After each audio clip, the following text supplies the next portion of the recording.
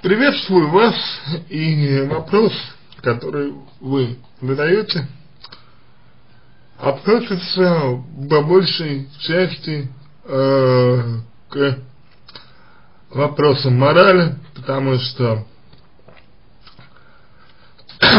у каждого э, свое представление о том, что можно, что нельзя, что дозволено, э, а что нет. И многое из этого э, идет из детства, берет свое начало из воспитания, и, соответственно, конечно же, можно говорить о том, что э, воспитывают людей каждый по-своему, и в зависимости от воспитания и множества других факторов, например, как становление собственной личности, жизненного опыта, э, приобретенных и врожденных ценностей и так далее, человек сам для себя определяет, что для него можно, а что нельзя. Если вам, а, я сейчас не говорю даже про конкретную ситуацию, а вообще, если вам а, что-то не нравится, если вы э, что-то считаете для вас неприемлемым, унизительным и оскорбительным, то об этом моментально э, ваш мужчина, э, ну, узнает. То есть, понимаете, да, ему нужно об этом сказать. Ему нужно сказать, что вы вот определенное поведение считаете для себя унизительным, оскорбительным. И он может сам э, считать его правильным, считать его приемлемым, считать его грамотным и не выходящим за рамки приличий. Но если э, человек дорожит вами, если человек хочет быть с вами, если ваши чувства ему дороги, то он э, обратит внимание не на то, что считает он, а на то, что считаете вы. На то, что думаете вы. И на вашу реакцию. То есть для любящего человека важно то, как реагирует его любимый. Если он видит, что а, его любимый расстраивается из-за поведения, которое человек а, придерживается и в котором он не видит ничего плохого, то любящий человек, конечно же, не будет больше такого поведения придерживаться, чтобы не расстраивать своего любимого. Если человек а, пытается объяснить любимому, что данное поведение является нормальным для него и нормальным вообще, то э, в первый раз э, первично такую попытку можно воспринимать как ну, естественную реакцию на осуждение со стороны любимого того, что человек считал нормальным.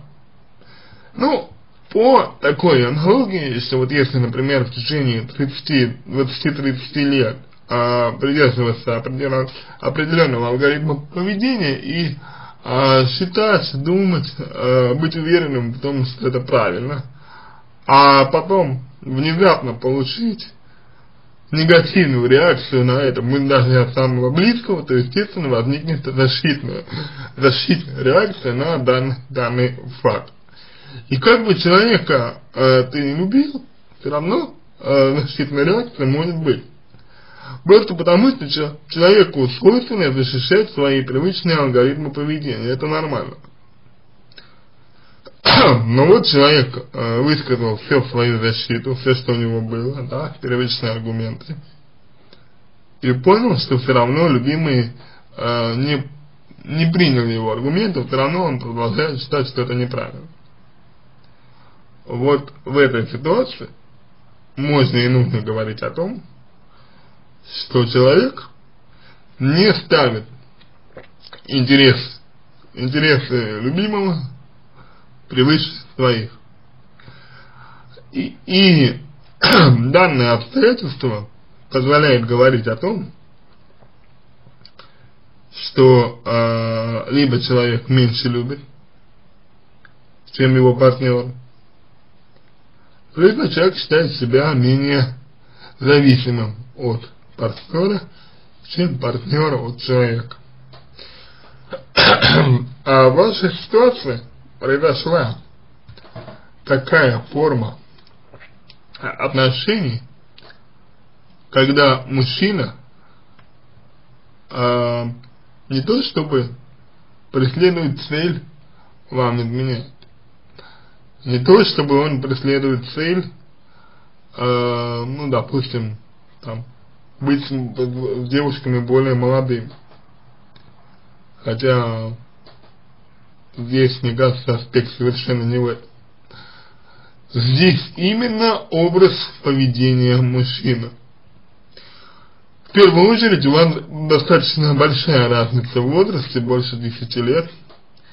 И мужчина вполне может считать вас ребенком, а, считать, что вы никуда от него не денетесь, считать, считать что вы а, зависите от него, что вы принадлежите ему и так далее. И в этом контексте, если мужчина действительно к вам так относится, а, не важно, что эм, представляет собой его поведение вообще.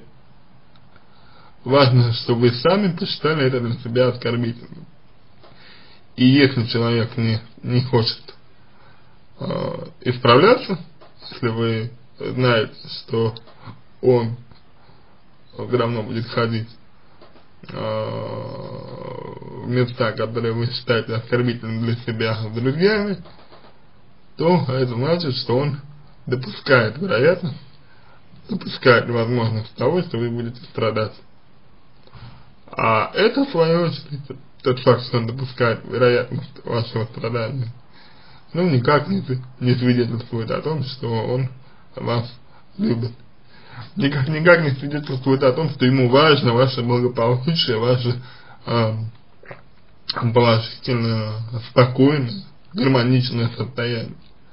Если человек не заботится о душевном здоровье своего любимого человека, то вряд ли такие отношения можно назвать продуктивными, искренними и так далее.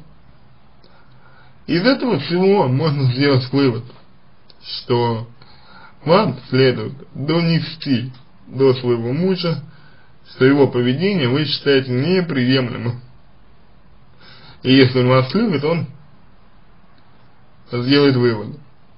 А если он вам не дорожит, то он продолжит продвигать свою позицию. И вы знаете, он-то со своей точки зрения может быть и прав. Действительно, никто не вправе ограничивать его делать то, что он хочет. Но и вы, и вы тоже находитесь в своем праве вправе не терпеть его поведение и вправе, например, с ним расстаться, его улучшить. И когда вопрос будет уже стоять таким образом, мужчине придется делать выбор. Либо он учитывает ваши потребности и, и находится с вами, либо он учитывает свои потребности и находится без вас. Если человек любит, он сделает выбор в пользу вас если нет, в пользу своих интересов. И это, в свою очередь, будет показателем того, насколько мужчина вами дорожит. И если не дорожит, то при любом раскладе, даже при отсутствии поведения, которое бы вам не нравилось, вы вряд ли бы были с ним полностью счастливы. Потому что если мужчина э, не любит, не ценит, не дорожит вас, э, не дразнит вашими чувствами, вашими желаниями и так далее, то рано или поздно это бы проявилось. И проявилось бы самый неожиданный момент. И как это не парадоксально звучит, но лучше, если это проявится сейчас. Лучше, если это проявится сейчас. Пока у вас, например, еще нет детей, пока вы еще, ну, как бы достаточно молоды, чтобы найти, э, легко найти другого мужчину, например, который не будет вести себя подобным образом, а будет более бережно относиться к вашим чувствам. Лучше раньше увидеть истинное отношение человека к вам, чем позже, когда уже будет сложнее что-либо изменить. Поэтому а вам эту ситуацию лучше воспринимать как опыт, как что-то положительное и, возможность лучше узнать своего мужчину, так сказать, таким, какой он действительно есть, что, что возможно, ранее от вас скрывалось. То есть не нужно наступать на себя, не нужно сильно стремиться а, перетерпеть, перебороть эту боль, если она у вас есть. Нужно доверять своим чувствам и строить свое поведение исключительно исходя из ваших ощущений. Доверие своим переживаниям есть признак зрелости. Зрелости духовной, зрелости личностной. Если так будет, то одна вы не останетесь, и, и счастье для вас – это лишь вопрос времени. Поэтому все, надеюсь, что помог вам. Если какие-то вопросы остались, обращайтесь в личку. Помогу, если вам понравился мой ответ. Буду благодарен, если сделаете его лучшим. Желаю вам всего доброго и удачи.